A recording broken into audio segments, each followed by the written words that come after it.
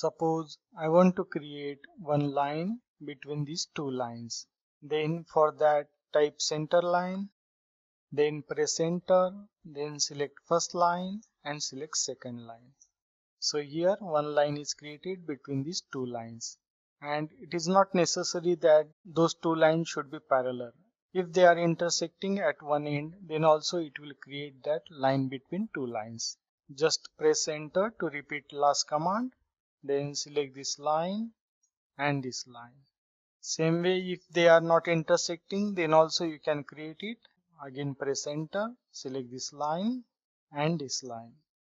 Same way if you want to create both vertical and horizontal line then that is also possible with center line command. Press enter to repeat center line command then select this line and this line.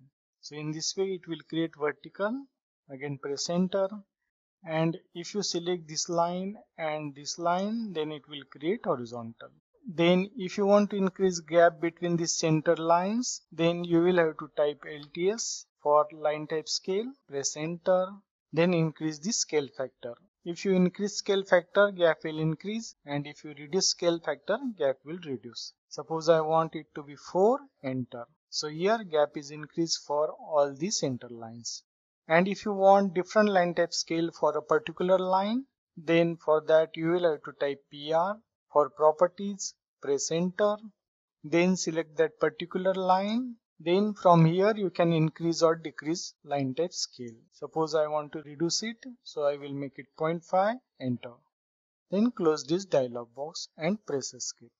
So in this way you can control line type scale of individual line also. And if you don't want these lines to be center line, then you will have to use match properties. For that click here on match properties.